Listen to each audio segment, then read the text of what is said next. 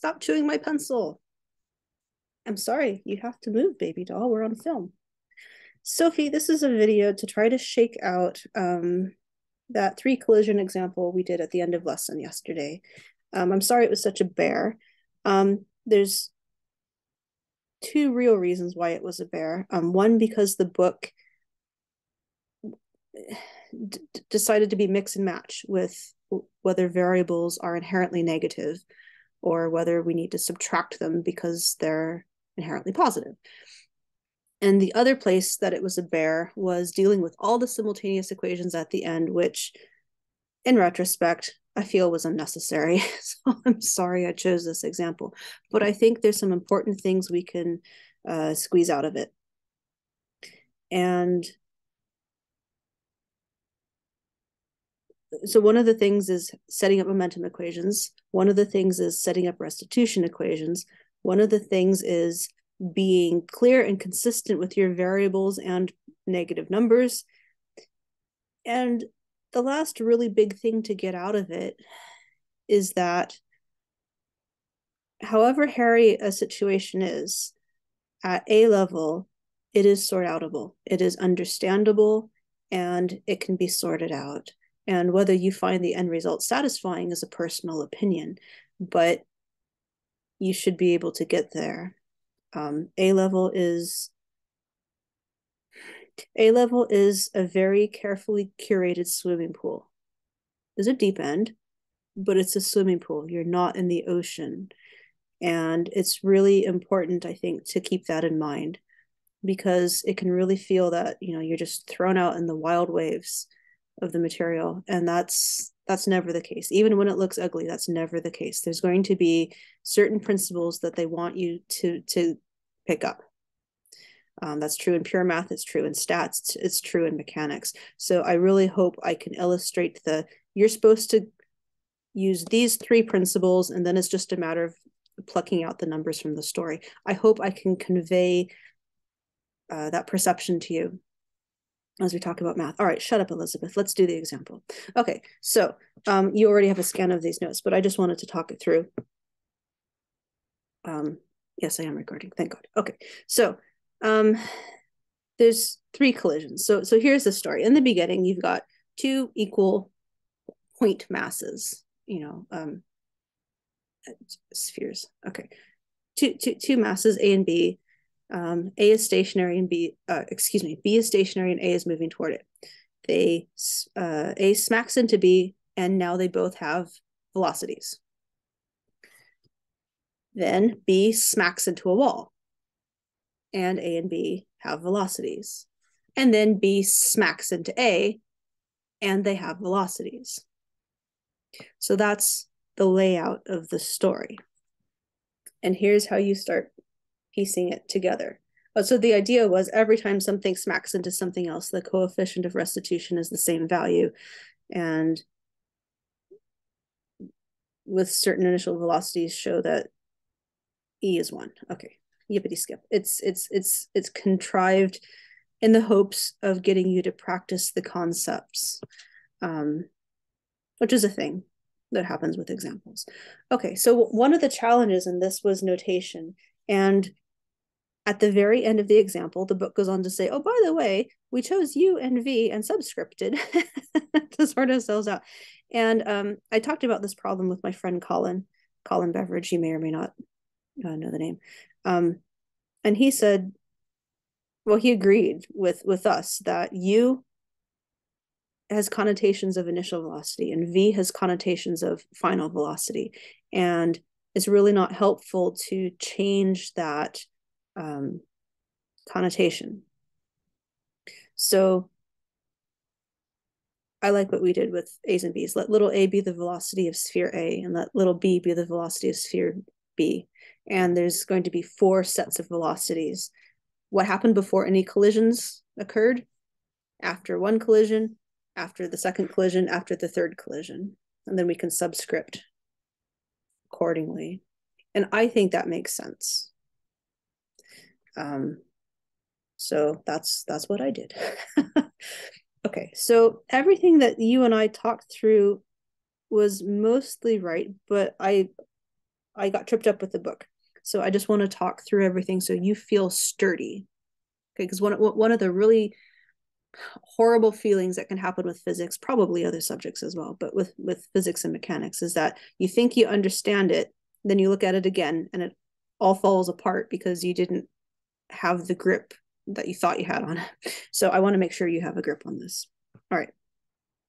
So in the beginning, B is stationary. So B's velocity is zero. A is moving toward B with velocity U. And I'll take to the right as positive and to the left as negative. And it's always useful to do a little sanity picture. Okay, so A smacks into B, and this is the picture afterwards. I know that B moves off to the right. I'm not really sure which way A moves. I have some ideas based on, you know, experience with smacking billboard billboard balls, billiard balls around. Um, billboard balls, my God. Um, but it doesn't really matter in our story. Um, I, I know that B has a velocity, A has a velocity, and I can write equations with those numbers. And what I'm doing here, and this is one of the big deals, um, is I'm going to let you should you should pause the video and take notes on this. Um, I'm going to let my variables be inherently signed. That is, if A is a negative number, it's just going to be A. I'm not going to write minus A to show direction to the left. I'm just going to call it A. And if it turns out to be negative, then I know it's going to the left. If it turns out to be positive, I know it's going to the right. And that is the the sanest way to deal with your variables. And Sophie, this is where books muck around with it and teachers muck around with it. And it's why students think everything is impossible and hard. This is one of those places. So if you are able to realize that, then it's going to help you come to sanity with a lot of this stuff and realize that it's not you, it's somebody messed around in this flavor. That's why it's being weird and difficult, and you will be able to sort it out um, to your own satisfaction. Is is is my hope. Okay, so velocity is after collision, a sub one, b sub one. Okay. Um, so we can write two equations. The momentum equation, um, they're equal spheres of some unspecified mass, so we'll just say m. Um, and beautifully the m's divide themselves out. Okay, but here's your, your momentum equation that you should always write in full every time. Mass times velocity plus mass times velocity. Notice that that's a plus. I, I don't care about direction. The variable will contain its direction. Yeah, if, if that doesn't make sense to you, please, please uh, bring it up with me. But I, I think you get that. Okay, mass times velocity plus mass times velocity equals mass times velocity plus mass times velocity before after. Okay, and that simplifies um, m's divide out. We said that u was a's initial velocity, b was stationary, and there we are. And that gives us one equation. And I think that was okay. Um, we can do the restitution equation. To save myself the fraction, I brought the denominator up against the e. Um, if that's unclear, pause the video and scribble it out for yourself but i think i think that's reasonable. That's the difference in initial velocities. That's the difference in final velocities. I'm keeping order the same because that's how we stay sane and slap a negative because i want e to be a positive value. Okay so i think that's okay to set up. Excuse me i can drop in the values for the initial velocities and i come up with this equation Okay, grand. And we match the book at this point. Okay. In the second collision, okay, so B was stationary, A smacked into it. A is still moving. I don't know which way, I don't really care. Um, B smacks into the wall and comes back to the left. Okay, so these are the velocities after the second collision, A2 and B2. Well, A2 is the same as A1 because nothing happened in this part of the story to A and I don't know what B2 is. I know it's a negative number, but I'm just going to let it absorb its negative. Okay, so we can't write a momentum equation. I'm going to talk about that in a second. Um, but we can write a restitution. You know, I'm going to do that. Um, I'll do that as a separate video because I think that would would help um, more than just you to have that conversation.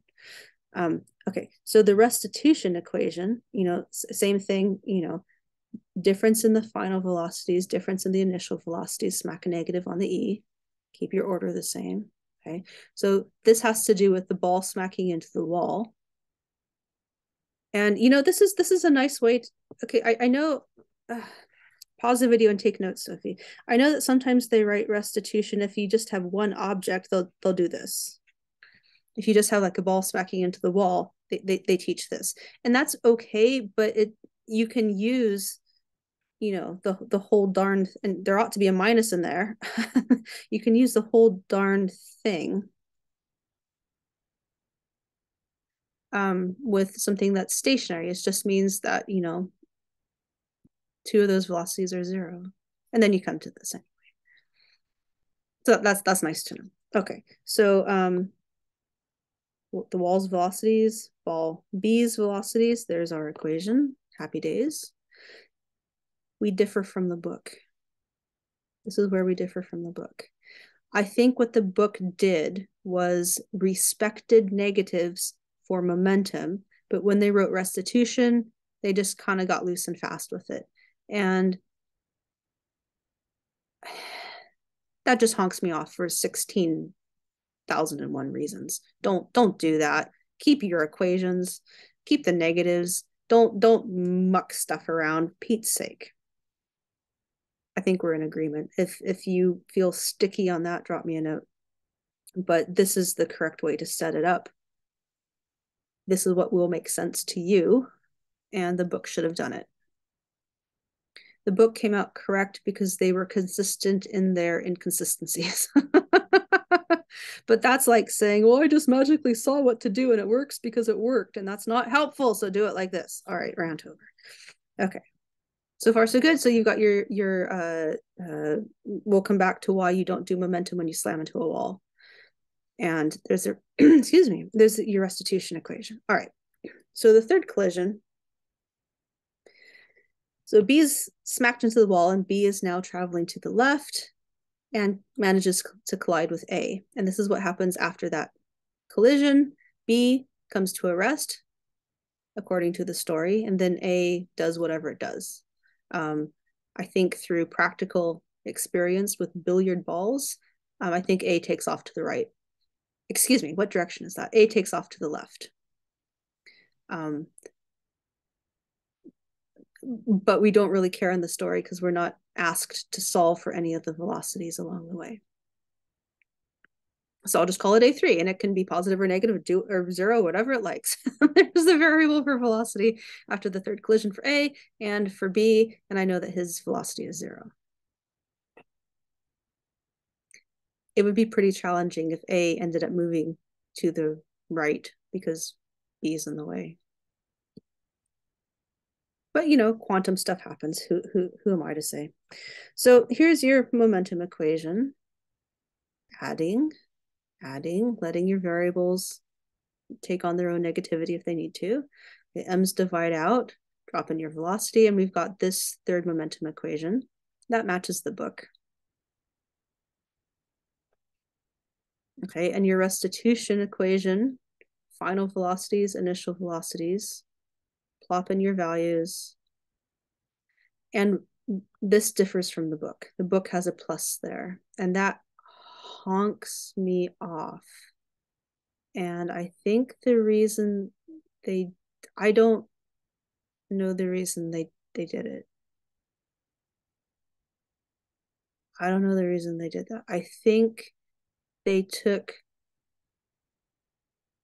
B's velocity variable as being positive, then stuck a minus in to account for it going left, or, or just stripped it out entirely. And so I don't, Sophie, I don't know. it was a horrible way to behave, and I don't agree with it. Do this. Okay, so if you need to pause and uh, figure out for yourself how you come to this point, please pause and do that. If you're unsatisfied with where this equation comes from, drop me a note. Okay, but this is this should should that's a terrible word. My hope is that this equation will will help your brain to relax and go oh okay that's that's what i've been wanting to write. Okay so this differs from the book but this is correct. Because negatives. Okay i don't know why i'm pausing because you can pause the video if you need time to think. I hope that's okay so far. So what we've got is five equations you know, we, we would have had six, but we can't do momentum with the wall. So we've got five equations. And the goal is to show that E equals one. Now, if I'm absolutely honest with you, Sophie, which I, I hope I always am, um, this is a big tedious exercise in elimination. Um, here's your five equations again. I labeled them so I could show you which ones I'm combining as I go. I use Greek letters because I could. Um, and I can talk you through what I did. I did a slightly different approach than what the book did. Um, I don't know a clear way to tell you how I knew what to do. Um, and that's very unsatisfying. Um,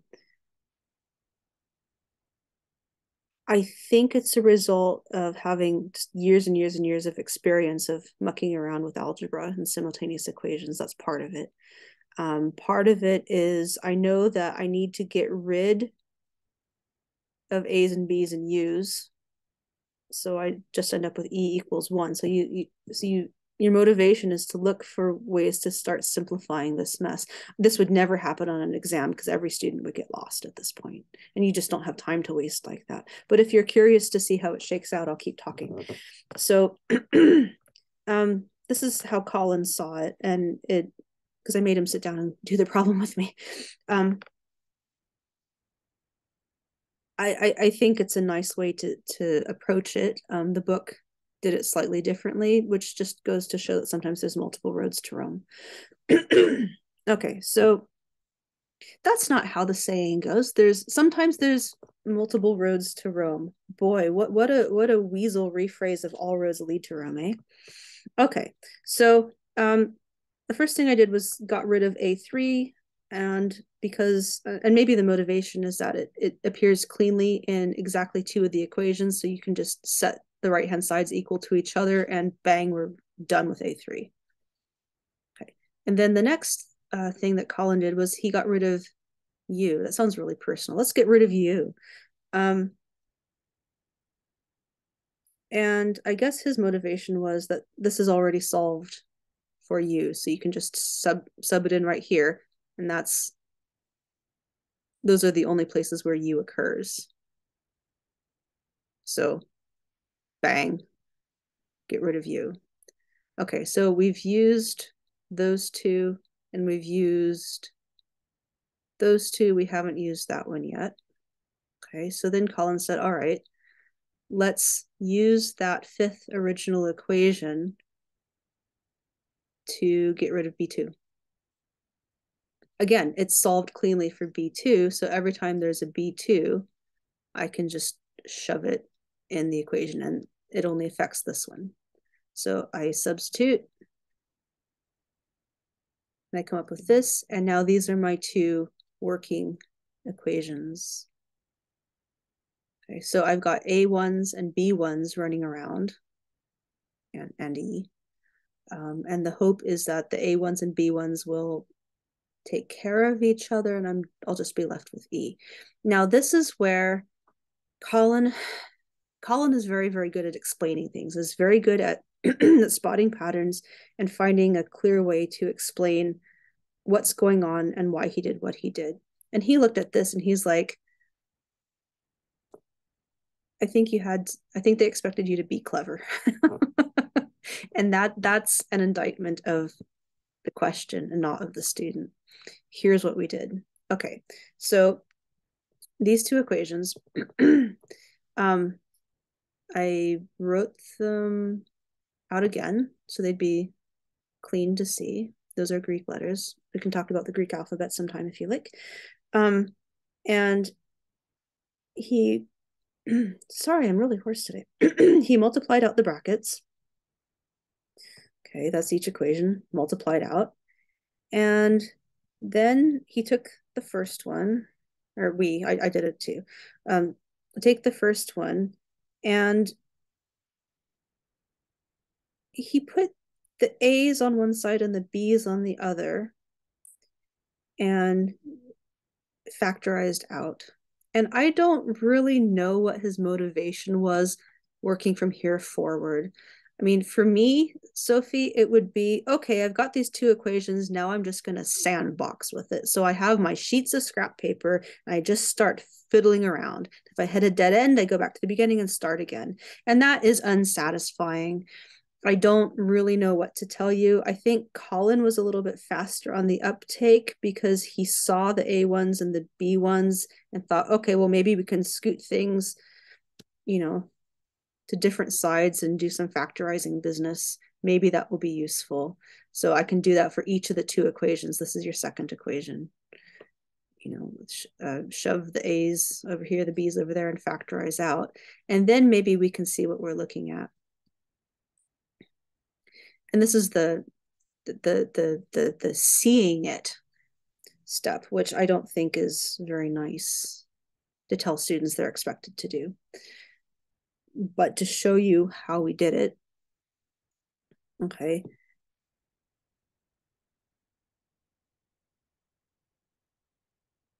Collins said maybe this is what I did. He might have done something slightly different. This is what happened. Um, Both these left-hand sides are the same. That left-hand side is the same thing as that left-hand side, which means these two right-hand sides are equivalent. So here's that right-hand side, and here's the other right-hand side. And I guess to go back and be a little bit more fair about my irritated comments, a little bit of poking around with the algebra takes you to a point where you have something really nice, i.e., those two sides are the same, so you can just eliminate the A's and say something in terms of B. Actually, at this point, Colin dropped the superscripts, excuse me, the subscripts. And I suppose you could have done that at this point. Um, but when problems are crafted to come out with a clean answer, you know, show that x equals 17, then you're going to find something nice along the way because it's going to shake out to a nice result. Here's a nice result here.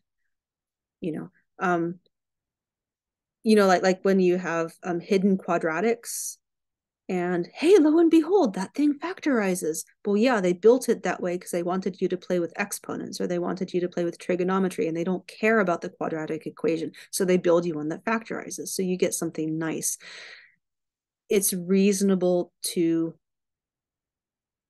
if not expect, then to strongly hope that that's going to be the case. So, you know, the, seeing questions like this, Sophie, and hearing people talk about it helps you build your own experience and background.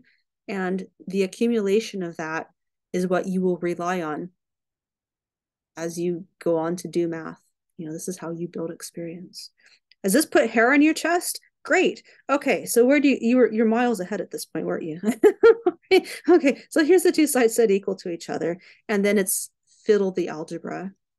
And so I multiply out my brackets. I'm like, oh, yuck, an e squared. That's gross. Okay, well, scoot everything to, oh, perfect square. We factorize, bang. Another one of those nice things that happens because we're aiming for a nice result. So they've, you know, I mean, it, it wouldn't shake out nicely if these other nice things hadn't happened along the way. And there we are. And that's the question. I'm going to stop the video here because I think I've babbled enough. Um, please give me a yell if this was unclear. All right. Thanks for watching.